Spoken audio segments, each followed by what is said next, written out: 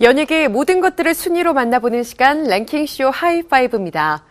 1월의 셋째 주, 한 주간 연예계에서는 어떤 일들이 있었을까요? 화제의 검색어를 통해 살펴보겠습니다. 위클리 하키워드 함께 하시죠.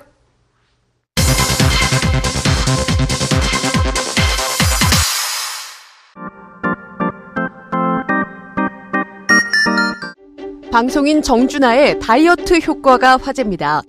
지난 9일 정준하는 자신의 SNS에 한 케이블 시트콤의 까메오로 나선 사진을 공개했는데요. 최근 폭풍 다이어트로 18kg 감량에 성공했다는 정준하. 쏙 빠진 볼과 날렵해진 몸매로 시선을 사로잡았습니다. 때문에 지난해 4월 정준하가 자신의 SNS를 통해 올린 다이어트 식단이 뒤늦게 주목받고 있는데요. 당시 정준하는 다이어트 돌입, 점심 닭가슴살, 고구마, 토스트 한쪽 이렇게 한 끼라며 식단을 공개했습니다. 정준하는 무한도전의 밀라노 특집 촬영 과정에서 모델 도전을 위해 다이어트를 시작했다는데요. 제 인생에 80kg대의 몸무게가 다가올 줄은 몰랐어요. 20대 때 몸매잖아요, 이게. 뭐냐 건강을 위해서 열심히 승리. 운동하고 로아 아빠 화이팅! 음식 관리하고요. 예, 힘내십시오. 힘듭니다. 비록 무한도전의 밀라노 프로젝트는 다음을 기약하게 됐지만 정준하는 꾸준한 노력으로 18kg 감량에 성공했습니다. 정준하는 그동안 식신이라는 별명답게 먹방 스타로 사랑받아 왔는데요. 때문에 네티즌들은 식신인데 의지가 대단하다. 식단 보니 18kg 감량 이해가네. 다이어트 효과 최고, 순남이네 등의 반응을 보였습니다. 그런가 하면 다이어트 후유증을 걱정하는 팬들도 있었는데요. 이에 정준하는 16일 자신의 SNS에 부모님 모시고 싱가포르로 가족여행 다녀왔는데 가 있는 동안 검색어 1위도 하고 걱정 마셔요 건강하니까 다시 살이 오르겠죠 라는 글을 올려 눈길을 끌었습니다.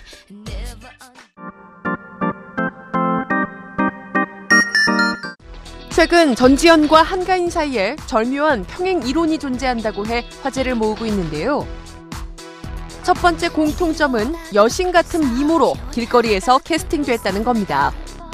한가인은 지난 2004년 한 방송을 통해 길을 걷다 캐스팅됐다고 밝혔는데요. 전지현 역시 우월한 미모로 길거리 캐스팅 후 잡지 모델로 활약한 바 있습니다. 두 번째 공통점은 광고를 통해 본격적으로 대중의 관심을 받게 됐다는 건데요. 이쪽이다. 전지현은 1999년 한 전자제품 광고에 출연, 몸매가 드러나는 흰색 가죽 의상을 입고 섹시한 테크노 댄스를 선보였었죠. 그로 인해 스타덤에 올랐는데요.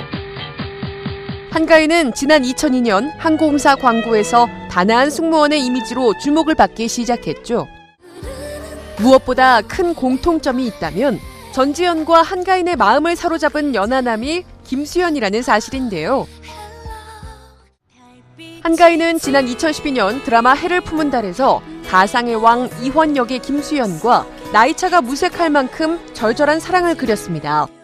네, 안녕하세요. 해를 품은 날에서 서연우이자 월 역할을 맡은 한가인입니다. 좋은 모습으로 보여줄 수 있도록 열심히 하겠습니다. 지켜봐 주세요. 전지현은 지난 2012년 영화 도둑들에 이어 지금은 별에서 온 그대에서 김수현과의 러브라인을 그려가며 상승세를 타고 있죠. 앞으로 더 어, 성장해 나갈 친구와 함께 작업한다는 것 자체가 저는 굉장히 영광이고 영광입니다. 후배님 김수현 씨와 작업하는 게 마지막인가? 그 밖에도 두 사람은 긴 생머리에 뽀얀 피부로 국민 첫사랑 이미지를 간직한 여배우로 사랑받았습니다. 전지현은 지난 2001년 영화 엽기적인 그녀로, 한가인은 지난 2012년 영화 건축학개론을 통해 국민 첫사랑으로 인기를 얻었는데요. 결혼 후 더 활발한 활동을 펼치고 있다는 점 역시 공통점입니다.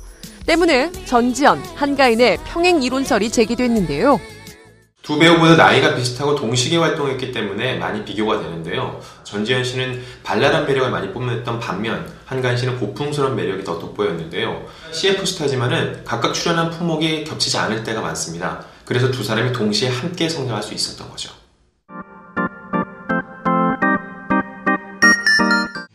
곽도원의 돌발 열애 고백이 많은 화제를 몰고 왔습니다. 지난 13일 황정민, 한희진 주연의 영화 남자가 사랑할 때의 시사회가 진행됐는데요. 최근 돌풍을 일으키고 있는 송강호 주연의 영화 변호인에서 지독한 악역으로 열연한 곽도원의 연기 변신 또한 주연 배우들 못지않게 주목받았습니다. 변호인 얘기하자 보면 이제 굉장히 민감한 부분도 많고 어, 준비하는 과정에 있어서 어느 정도 역사에 이제 비춰서 이제 사실적인 부분도 좀 있고 그리고 또 극화시켜야 되는 부분도 굉장히 긴장을 많이 했던 작품이었고 이 작품 같은 경우에는 음, 영일이라는 캐릭터 자체가 굉장히 이제 직설적이기도 하지만 어, 굉장히 사랑을 많이 품고 있고 아 이 영화가 아주 감정이 추스러지질 않아갖고 제가 특히 곽도원의 돌발 고백은 많은 화제를 불러일으켰죠. 한 거친 남자 여자가 자, 한없이 투명에 가까운 사랑을 나누는 모습에 제가 참여한 작품이기도 하지만 아 오늘 하루 아 더럽게 울었네요 진짜. 아 눈물이 나 저도 지금 사랑을 하고 있거든요. 커플 반지도 끼고 있는데 처음 이제 말씀드리는데 아 제가 이- 지금 사랑하는 사람한테 이렇게 투명에 가깝게 사랑을 하고 있나 이렇게 반성도 많이 되고 더 잘해 줘야겠다라는 생각도 들고 야 미연아 사랑한다 야 오빠 영화 보고 반성 많이 했다 사랑한다 미연아 아. 곽도원의 소속사에 따르면 여자친구는 10살 연하의 회사원으로 지난해 6월 제주도 여행길에서 만났다고 하는데요. 7개월째 핑크빛 만남을 이어오고 있다고 합니다. 용기 있게 열애 사실을 고백한 곽도원. 천의 얼굴을 지닌 배우로 더 많은 작품에서의 활약 또한 기대하겠습니다.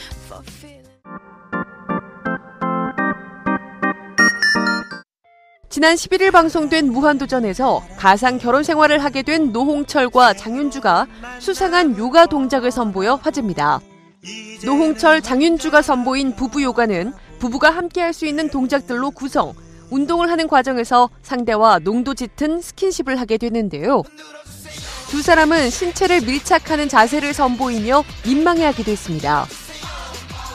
서먹했던 두 사람을 가까워지게 만들어준 건강한 스킨십인 부부 요가가 방송 이후 많은 관심을 모았는데요. 생방송 스타뉴스 취재진은 한 요가 학원을 방문해 화제의 부부 요가에 대해 알아봤습니다. 커플 요가는 말 그대로 혼자 하는 것이 아니라 어, 둘이서 같이 하는 요가이기 때문에 어, 자연스럽게 스킨십도 생기고 소원해졌던 커플이나 부부께서는 조금 더 사이가 돈독해질 수 있는 아주 좋은 요가인 것 같아요. 당시 화제가 됐던 커플 요가 3단계 동작에 대해 살펴봤는데요. 두 분이서 서로 반대쪽으로 누워서 어깨를 대고 양손을 너- 어깨 넓이로 넓게 펴셔서 깍지를 끼고 위로 올라오지 않도록 배를 등 뒤로 쏙 집어 넣으셔서 아래 허리가 뜨지 않도록 바닥에 붙여주시고요. 두 다리를 모으셨다가 숨을 마실 때 다리를 천장 쪽으로 들어 올리시고 내쉴 때 뒤꿈치를 바닥 가깝게 내려주시면 됩니다.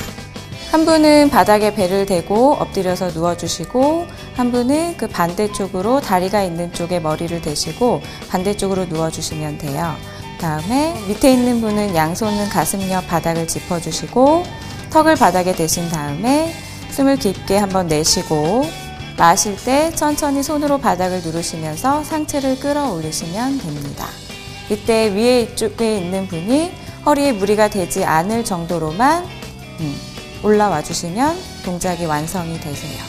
한 분은 등을 바닥에 대고 누우셔서 무릎을 살짝 접어 발바닥을 바닥에 붙여 놓으시고 다른 분은 자, 같은 쪽을 바라보셔서 양 다리를 허리 옆쪽에 붙여 놓으시고 양손을 크로스 하셔서 어깨 높이 자, 팔꿈치를 잡아 주시고 자, 밑에 있는 분이 손을 위로 뻗으셔서 위에 있는 분의 힙을 양손으로 편안하게 받쳐주시고 위에 있는 분은 무릎을 접으셔서 천천히 엉덩이를 바닥 쪽으로 내려가서 앉아주시면 됩니다. 3단계 동작의 경우 장윤주가 노홍철의 엉덩이를 밀어 올려주는 자세로 대신하기도 했죠. 방송 이후 노홍철과 함께 가상 결혼을 시작한 모델 장윤주에게도 시선이 모아지고 있는데요. 장윤주는 17살 때인 지난 1997년 서울 컬렉션 무대를 통해 모델로 데뷔했죠. 이후 톱 모델로 뉴욕, 파리 등 세계적인 런웨이를 누비는가 하면 라디오 DJ와 가수는 물론 전시 기획자 등으로 활약하고 있습니다. 쌍꺼풀 없는 눈매와 신이 내린 몸매라 불릴 만큼 완벽한 몸매를 지닌 모델로 각광받고 있는 장윤주. 지난 2010년 무한도전 달력 프로젝트와 도전 슈퍼모델 코리아를 통해 대중적인 인기를 얻었는데요. 톱모델답게 완벽한 몸매가 드러나는 파격 노출 화보로도 많은 화제를 모았습니다. 무한도전에서 노홍철과 가상 부부가 된 장윤주는 톱모델답게 노홍철과 멋진 커플룩을 선보이기도 했는데요. 노홍철은 all black 패션에 회색 코트를 입고 같은 톤의 머플러를 매치한 심플한 패션을 장윤주는 블랙에 깊게 파인 U neck 티셔츠에 블랙 코트로 커플룩 느낌을 주었습니다. 특히 노홍철과 장윤주는 각각 초록색, 핑크색 커플 모자를 써 커플룩을 완성했는데요. 이에 네티즌들은 노홍철, 장윤주 커플 모자 눈에 띈다.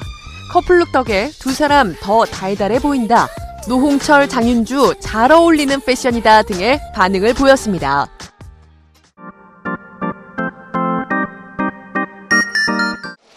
방송인 이휘재가 황반 변성증을 앓고 있다고 고백해 눈길을 끌고 있습니다. 이휘재는 지난 13일 방송된 힐링 캠프에서 5년 전 황반 변성증이라는 질환 판정을 받았다. 시야가 점점 좁아지는 병으로 한번 제대로 오면 한쪽 눈 시력이 안 보이게 될 정도로 떨어진다고 고백했는데요. 지난 2012년 스펀지가 10년 만에 폐지되면서 슬럼프를 겪고 악화됐다고 합니다. 매일 아침 한쪽 눈을 가려보며 보이는지 안 보이는지를 테스트한다고 고백했는데요. 생방송 스타뉴스 취재진이 직접 안과를 찾아가 황반 변성증에 대해 알아봤습니다. 네, 황반 변성이라는 것은 시스포들이 밀집해 있는 황반이라는 부분에 어, 위축이나 변성 또는 출혈 등에 의해서 어, 시스포들이 손상을 받고 이로 인해서 시력이 점점 떨어지면서 방치될 경우 실명에 이를 수 있는 위험한 병입니다. 황반 변성증은 노화나 고도 근시 등으로 인해 생기는 경우가 많다는데요. 예방법은 없는 걸까요? 일반적으로 황반 변성은 흡연과 관련돼 있는 부분들이 있다고 알려져 있기 때문에 금연을 하셔야 되고요. 그 외에도 항산화 비타민이 풍부한 신선한 과일이나 야채들을 충분히 섭취하시고 또 강한 햇빛에 노출될 경우에는 선글라스를 착용하셔서 자외선 차단에도 신경을 쓰셔야 할 것으로 생각이 됩니다. 데뷔 22년 만에 출연한 첫 토크쇼에서 진솔한 이야기를 전해주었던 개그맨 이휘재. 그가 황반 변성증을 극복하고 새로운 전성기를 쓸 수 있을지 모두의 관심이 주목되고 있습니다.